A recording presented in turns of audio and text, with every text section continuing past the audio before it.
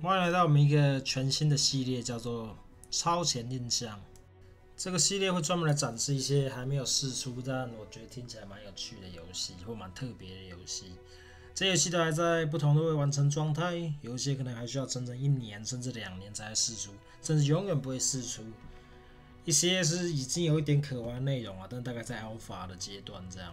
但我还没有实际玩过，因为不存在的东西比手上的更完美，所以就让我们开始吧。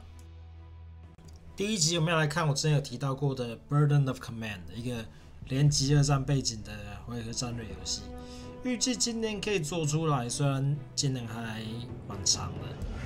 《Burden of Command》主打几个听起来蛮有特色的系统，一个是玩家身为连长和下属的关系，所以会有 RPG 系统。你手下的排长和一些士官会有自己的历史现象和对你的看法，这点当然会随着战役改变，然后你也可以借由一些事件影响他们的发展。简单来讲，你会在游戏的整个战役过程中写下每个人的故事，不意外的，这也包含永久死亡。所有有头有脸的人都可能会，就像大家都最喜欢的 XCOM 一样。另一个特点则是混乱的战场。等子弹开始飞的时候，玩家下命令会经常因为各种原因无法执行，移动或射击的命令可能不会被完成。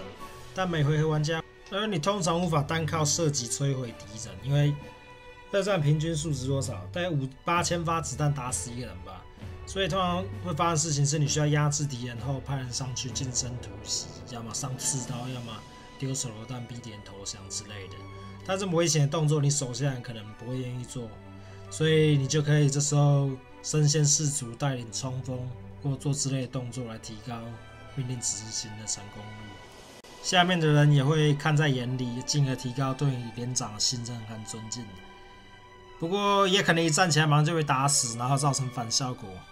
类似这样的战场情景，看一些剧情事件也会跳出来，让玩家需要做决定。大多选择结果都是不一定的，你可能会。需要选择把自己当诱饵跑到大街上吸引坦克注意，或决定放弃你的任务来后撤你最喜欢的军官。虽然就算这么做，他可能还是会死掉。所以就会制造很多要完成任务还是保住你的人的挣扎，然后产生很多像可能像 Darkest Dungeon 的那种即兴故事的剧情张力。当然我贴错图了，是这样才对。哎，所以没有回到更多星空图，因为我已经讲完了，我我剧本只有写这么多而已。那，所以第一集的新的系列，欢迎大家在下面留言，看看有没有想要看更多相关的内容或或之类的，或这个系列 shit，我应该去做更多战术回顾，也可以写在下面。好，那就这样，感谢各位收看，拜拜。